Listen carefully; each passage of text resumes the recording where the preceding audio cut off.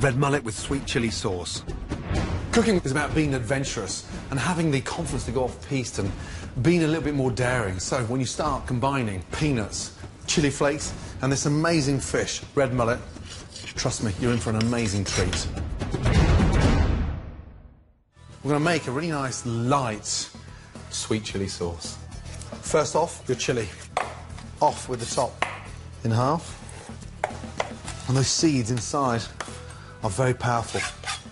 Incredibly hot, but full of flavour. Garlic.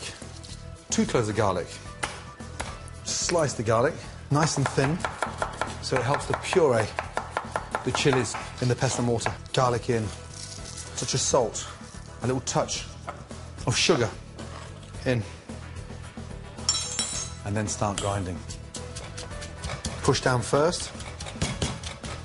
The salt and the sugar really helps the puree the chili and the garlic.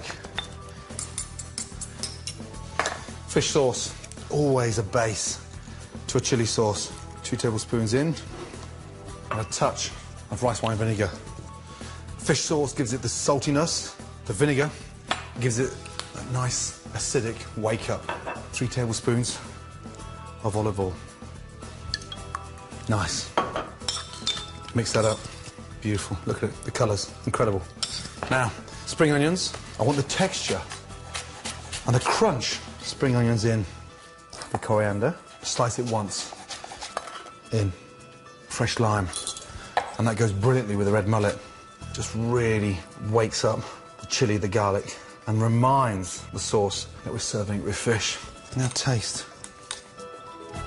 Mm. Delicious. Look at that. Beautiful. The longer that chili sauce sits there, the better it gets. Now, for the peanuts and chili, that's going to coat the top of the red mullet. Peanuts in, salt in. That helps to really grind the peanuts down. Some beautiful dried chili flakes. Creates a nice sort of warm heat. I'm using fresh chili for the sauce, but dried chili flakes for the coating, which will really crunch up when cooking. Just a little bit of the coriander. Mix the coriander in to the peanuts. And look, I like them quite textured. I don't want them too small as a powder, otherwise they'll burn, but crushed lightly. To coat the fish with the chili and peanut seasoning, in a separate bowl, beat two eggs along with a splash of fish sauce. Take your fillet, lay in your red mullet, dip it in, shake up your peanuts, and then in. And make sure you push that down, cover that red mullet. Oh, beautiful. Now make sure that pan's really nice and piping hot. If you put the fish in and the pan's cold, all those wonderful peanuts and chili is just going to slide off the fish. So we need to sear it in and get it nice and crisp. In and lay away from you. Beautiful.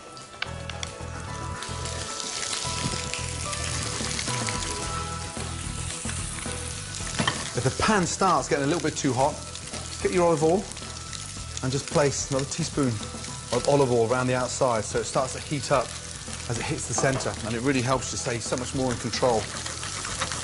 And turn nice and gently.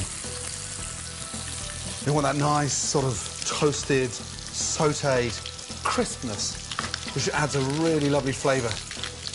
Tilt the pan and just baste top of the red mullet with that really nice piping hot olive oil. You've got that really nice roasted crunch and it goes brilliantly with that soft sweetness of that fish inside. Gas off and just leave them sitting in there and finish with lime and just go over each one.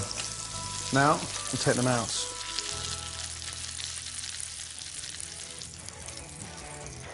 And the sauce, a touch on the bottom, and the tail of each fish.